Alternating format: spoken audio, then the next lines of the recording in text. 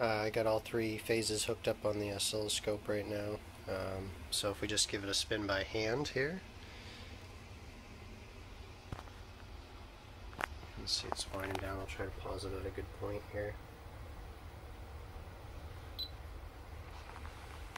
So you can see there's some anomaly between the channels, the phases, um, but it's still pretty sinusoidal. Just checking the phase resistance here. Uh, it seems to be a little more stable when it's not in the rotors, uh, but that's a single phase. And if I change this here from the ground to another phase here,